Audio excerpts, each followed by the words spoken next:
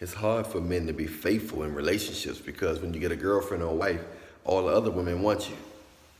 It's like you become a magnet to women. All them other women want you. They wasn't thinking about you when you was really single.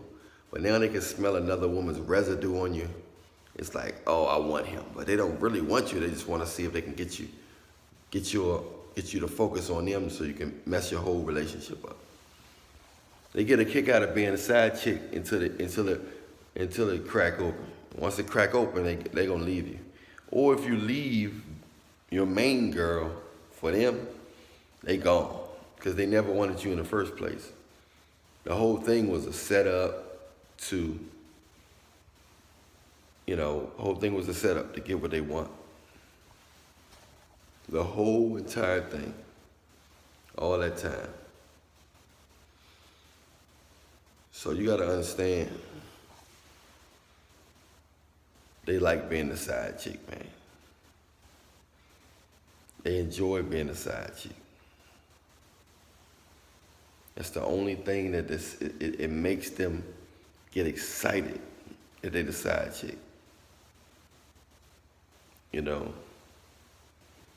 And it's sad. And that's why most of them are single. Most of them are single because they're attracted to the forbidden. They're attracted to that which is taken. They're attracted to men that are relationships. Men that have a lot of girls or married.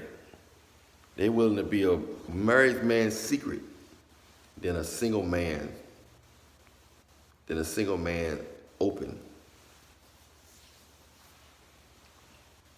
They get it's exciting for them to be a part of the forbidden, and we sneaking. Look at us.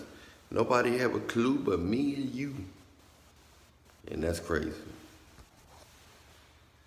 You know, so I'm just here to let you know that uh,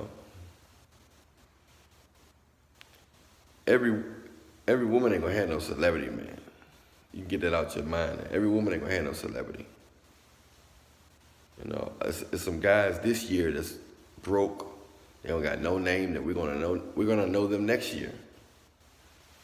You never know who you're talking to out here. You want to be nice because you're human anyway. You want to be nice because of that reason, but also you want to be nice because you never know who you can help or who can help you. So that's just something to think about, y'all. I'm Allan Millionaire. Follow me on Instagram. You know how to spell a name, Allan Millionaire. And uh, I see you soon. Y'all be safe out there. Find a local church. Give your life to Christ. Pray. Get some good sleep. Think positive. And I see y'all in a little bit. Allan Williams, the Millionaire, AWTR. That's me. I'm out.